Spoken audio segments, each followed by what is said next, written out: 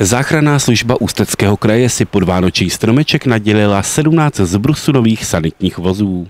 Že dneska dopoledne jsme převzali od Ústeckého kraje celkem 17 nových sanitních vozů, 12 nových typů Volkswagen Crafter. Jedná se o moderní nové sanitní vozy vybavené speciálními pomůckami, speciální technologií. Zejména je tam větší prostor ve zdravotnické zástavbě, který nám umožní pohyb a péči o pacienta uvnitř sanitního vozu.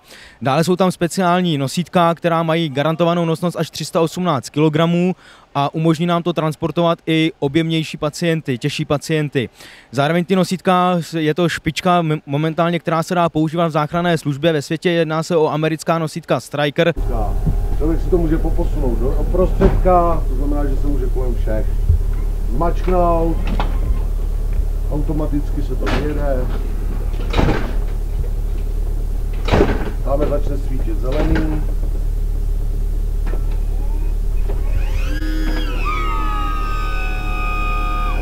A odjistí se, začne mít ta oranžový, odjede. Nakládá se pacient, že se to dá dolů, v jakýkoliv váze, že je nakládáme jak do bytek, tak tady vidíte, že ne. Jo? Jo? Tady vidíte, že reálně Tak ještě jednou.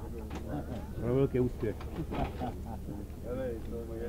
Je to rukou.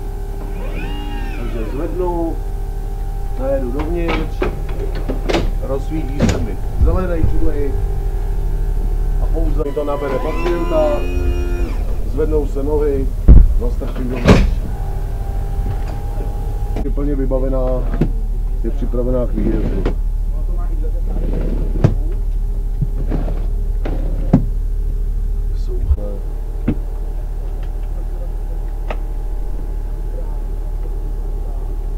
Obrovská výhoda je termoboxy na teplé infuze,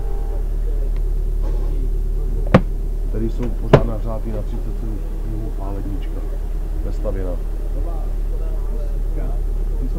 Těchto 12 velkých nových moderních sanitek bude jezdit od ledna v celém Ústeckém kraji. Budou určeny pro posádky rychlé lékařské pomoci, tudíž pro tříčlené týmy. Dalších pět sanitních vozů typu T6, které jsme dostali taky jako další nové vybavení, tak bude jezdit také napříč celým Ústeckým krajem.